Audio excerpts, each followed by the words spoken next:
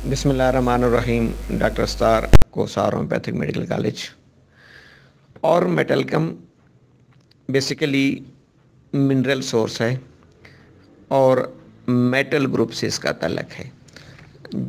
जो भी हमारी मेडिसिन मेटल से बनती हैं, इसका तलक भी उसी मेटल ग्रुप से है। जैसे हमारी प्लम्बम मेट है प्लेटिनम है और मेट है क्यूप्रम मेट है, ये सारा जो है वो मेटल ग्रुप में आता है। केमिकल सिंबल इसका ए यू है। अब इसकी अगर to the point clinical practice के हवाले से बात की जाए, वैसे तो ज़ाहिर है ये भी पोलिक्रेस्ट रेमेडी है तो इसका तमाम आर्गन्स पर कुछ ना कुछ इफ़ेक्ट है। लेकिन अगर इसको as far as clinical practice is concern तो आई थिंक हाइपरटेंशन में इसका जो है वो बहुत ज़्यादा इस्तेमाल कराया जाता है क्लिनिक्स पर, और उसी हाइपरटेंशन को हम थोड़ा सा जो है वो देख लेते हैं। इसमें सबसे जो इसकी अहम तरीन की नोट सिम्टम्स है वो ये है कि मरीज़ की emotional states mental emotional states बहुत हाई होती है।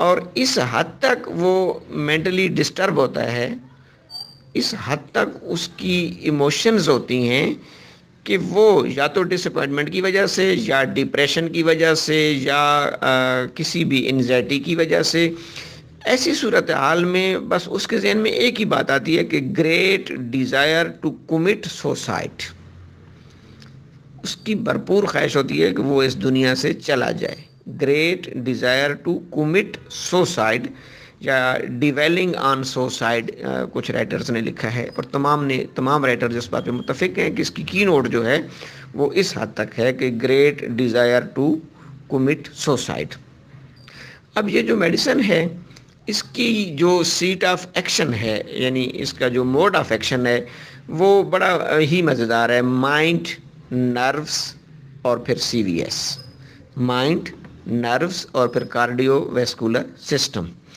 अब हम इसको ये देखते हैं कि इमोशनल स्टेट में जो भी ब्लड प्रेशर हाई होगा हाइपरटेंशन होगी, उसकी काज जो है वो इमोशनल स्टेट होगी। और इमोशनल स्टेट भी इस हद तक कि patient wants to commit suicide desire to commit suicide ऐसी सूरत हाल में जो सेंसोरियम पर प्रेशर होगा, अब उस पर का हम खुद अंदाज़ा लगा सकते हैं कि सेंसोरियम पर कितना प्रेशर है कि पेशेंट्स कमिट कर रहा है सुसाइड के लिए। अब इस प्रेशर में सेंसोरियम का ये जो प्रेशर है, इसको हाइपोथैलमस कैच करता है। इसके असरात हाइपोथैलमस पर आते हैं और एक बॉडी में सिस्टम है जिसको एच पी ए सिस्टम कहते हैं, यानी हाइपोथैलमस पेचूटरी एड्रीनल सिस्टम ये सिस्टम एक्टिवेट हो जाता है और सबसे पहले जो हाइपोथैलमस है, वो कुछ नीरो रिलीज़ करता है। जिसको कहते हैं एसिटाइल कोलिन न्यूरो ट्रांसमीटर है। एसिटाइल कोलिन्स बेसिकली ये वाया नर्व जो है, वो सेल्स पर जाकर एक्शन करता है। ये एसिटाइल कोलिन जो हाइपोथैलमस और सिंपैथेटिक नर्वस सिस्टम रिलीज़ कर रहे हैं, ये एसिटाइल कोलिन बॉडी की तमाम वेसल्स पर एक्शन करता है। और वेसल्स पर क्या लगे होते हैं? इनके लिए एल्फा रिसेप्टर्स यानी हर ब्लड वेसल्स पर एक रिसेप्टर है, जिसे कहते हैं अल्फ़ा रिसेप्टर वो अल्फ़ा रिसेप्टर्स इस एसिटाइल कोलिन के एक्शन को एक्सेप्ट करता है और वेसल्स कंस्ट्रिक्ट करती हैं। यानी वेसल्स क्या कर जाएँगी? तंग हो जाएँगी कंस्ट्रिक्ट हो जाएँगी। जिससे क्या होता है कि जैसे उस दिन मैंने अर्ज़ किया था कि तीन फैक्टर हैं ब्लड प्रेशर को कंट्रोल करने में, एक कार्डिक आउटपुट एक विस्कोसिटी ऑफ़ द ब्लड और एक पेरिफेरल रेजिस्टेंस तो इसमें पेरिफेरल रेजिस्टेंस जो है फैक्टर वो डिस्टर्ब होगा। पेरिफेरल रेजिस्टेंस बढ़ जाएगी ड्यू टू वैसो कंस्ट्रिक्शन और अल्टीमेटली ब्लड प्रेशर जो है वो क्या हो जाता है? हाई हो जाता है। एक तो ये डायरेक्ट एसिटाइलकोलिन और अल्फ़ा रिसेप्टर्स के थ्रू एक्शन करता है। दूसरा एचपीए सिस्टम के तहत, यानी हैपोथैलमस पिच्यूटरी को एडवाइज करेगा। Pituitary gland A C hormone के ज़रिए हमने पढ़ा होगा फिजोलॉजी में एड्रीनो कॉर्टिक हार्मोन्स एसीटीएच उस हार्मोन्स के ज़रिए एड्रीनल ग्लैंड्स पर एक्शन करेगा और एड्रीनल ग्लैंड से नॉर एपिनेफ्रीन्स और एड्रेनलिन्स की सेक्रीशन कराएगा हार्मोन्स की। तो इनकी वजह से मज़ीद वेसल्स जो हैं वो कंस्ट्रिक्ट कर जाती हैं, क्योंकि एड्रलिन जो है वो वैसो कंस्ट्रक्शन करता है। इस इस वैसो कंस्ट्रक्शन के नतीजे में पेशेंट का जो ब्लड प्रेशर है वो रेस कर जाएगा।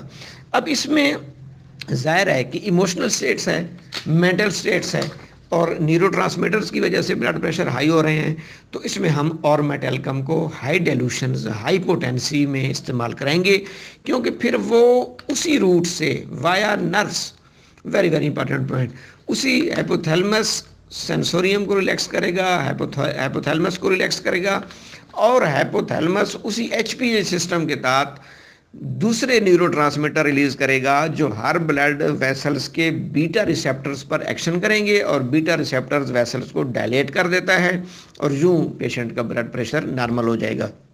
देखें, डॉक्टर साहबान, आपने क्लिनिक पे अभी भी एक डॉक्टर साहब कह रही थी शायद कि मेरा अपना 200 बाई 140 ब्लड प्रेशर था तो मैंने आर मेटेलकम इस्तेमाल किया तो वो नॉर्मल हो गया, बिल्कुल ठीक है। लेकिन अब हमने इसको भी तो एक्सप्लेन करना है कि वो नॉर्मल कैसे हुआ, क्योंकि पहले वेसल्स की अल्फ़ा रिसेप्टर्स, नर्वस सिस्टम के न्यूरोट्रांसमीटर को एक्सेप्ट कर रहे थे और वो कंस्ट्रिक्ट कर रहे थे। जब आर्मेट आर्मेटेलकम ने अपना एक्शन किया तो उसने बीटा रिसेप्टर्स को एक्टिवेट किया और वेसल्स क्या हो गई डायलेट हो गई जो ही वेसल्स डायलेट हो गई होंगी तो ठीक है within a no time जो है वो ब्लड प्रेशर नॉर्मल हो सकता है but in high potency high dilutions क्योंकि मेंटल स्टेट्स में जो है ना, हमेशा हम हाई डेल्यूशंस करके वाया नर्व्स पूरी बॉडी पर जो है उसके असरात लाना चाहते हैं। दूसरी बात दूसरी बात यह है कि चूँकि ये सिफिलिस म्याज़म से इसका तलक है, सिफलेटिक है तो सिफलेटिक हमेशा डिस्ट्रक्शन पैदा करती है तोड़ फोड़ अब दूसरी इसकी जो है ना, इसकी बिल्कुल, ये तो मेंटल स्टेट्स थी। दूसरी इसकी ऑर्गेनो पैथिक डिज़ीज़ जैसे कहते हैं, या ऑर्गेनोपैथिक चेंजेस वो ये लोकल चेंजेस पैदा करेगी। कैसे करेगी? Hypertrophy of the heart heart में हाइपरट्रॉफी पैदा कर सकती है। दूसरा, fatty degeneration of the heart. अगर किसी पेशेंट्स के हार्ट में या में बाज़ तो उन रिपोर्टों में आ जाते हैं। उसमें लिखा होता है कि L V H left ventricular hypertrophy या fatty degeneration of the heart या आर्टीरियोसेक्लोरोसिस। बिलखसूस बुज़ुर्गों में with the passage of time, with the passage of age उनकी जो वेसल्स हैं, वो सेक्लोरोट कर जाती हैं, ठीक हो जाती हैं, तंग हो जाती हैं।